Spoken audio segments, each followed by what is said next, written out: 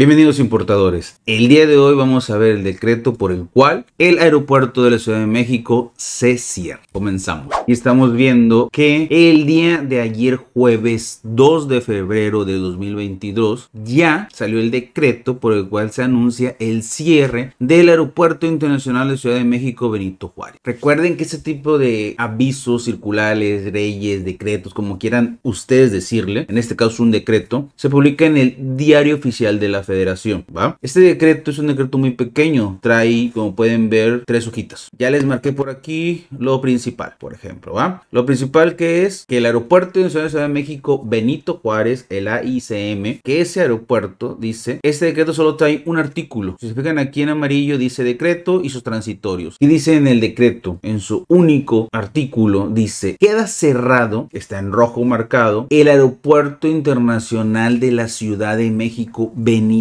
Juárez, ¿va? ¿Para qué? Para toda la carga. Hay una exclusión abajo que te dice que aquellos que viajan con pasajeros y carga en el mismo aeronave puede seguir llegando al aeropuerto internacional de Ciudad de México. Pero el que viene exclusivamente con carga sin pasajeros, esas aeronaves ya no van a poder llegar al Benito Juárez o al Aeropuerto Internacional de Ciudad de México como ustedes lo conocían, ¿va? Se publicó, como les digo, ayer jueves 2 de febrero y en sus transitorios, en su hoja 3 te dice el plazo, en su artículo 15 te dice que estas empresas cuentan con un plazo de máximo 180 días hábiles para dejar de recibir carga en dicho aeropuerto. No sabemos si este plazo a lo mejor por X o Y motivo se puede dar una prórroga o ampliar después a dicho decreto, lo dudo, pero con este decreto el gobierno, el presidente, como tú quieras decirle, les avisa a las aeronaves de carga, paqueterías, UPS, DHL, FedEx, que manejan carga desde China para nosotros importarlo, ya no van a poder llegar al aeropuerto internacional de Ciudad de México.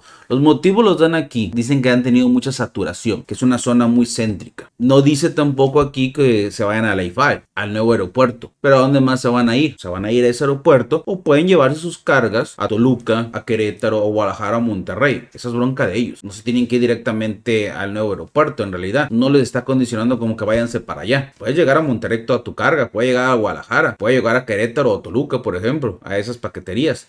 Tampoco es como que estás obligada a llegar ahí. Lógico, quiero pensar que se van a ir al nuevo aeropuerto la mayoría de estas empresas de carga que traen mercancía del extranjero. Con eso te vamos a conocer que entonces sí va a haber cambios. Salvador, ¿a quién le afecta? Eso afecta a las aeronaves o agencias de carga en realidad. A ti como importador, exportador, no creo que se vea directamente afectado tu operación. ¿Quién afecta? A las agencias aduanales, las cuales antes, muchas de ellas, enfrente del Aeropuerto Internacional de Ciudad de México, tienen oficinas y se cruzaban para hacer las despachas de las cargas. Ya con esto, todas esas agencias que tenían oficinas ahí, que rentaban, espero, la mayoría, se van a tener que ir al nuevo aeropuerto, a zona cercana, para hacer las operaciones. Eso afecta a las personas que trabajaban, todo eso, sí, sí, cierto, les afecta a las agencias aduanales, lamentablemente. Yo esperando que esas agencias aduanales o esos clientes solo manden carga con aeronaves de pura carga. Si mandan en, aviones que traen carga y pasajeros y tienen despachos así, tendría que tener dos oficinas. Va a ser un show eso, la verdad. No creo que se mantenga la misma agencia en el aeropuerto de Ciudad de México y en el nuevo aeropuerto. Afecta a ellos. Secundariamente, al importador le afectaría, sí, en costos tal vez. Tal vez las paqueterías van a, tener que darle un costo extra por ese cambio. Tal vez el agente banal también cobre un poquito más. No sabemos. Puede ser un, uno secundario, pero recuerden que usted como importadores, ese costo se lo mandan a su cliente final. ¿A quién le va a afectar al final? Al consumidor final de las mercancías. No le afecta nada a nadie, hablando de importador, ¿sale? En realidad, es un efecto secundario. Correcto o incorrecto, dicen que está saturado ese aeropuerto, por eso es el movimiento del nuevo aeropuerto. Yo no sé si sea correcto o incorrecto el movimiento que están haciendo. El decreto ya se publicó el 2 de febrero del 2023 jueves y tienen 108 días hábiles máximo para que estas empresas de carga ya no reciban la carga en el aeropuerto de México y se vayan al nuevo o otros aeropuertos. Recuerden, somos logística.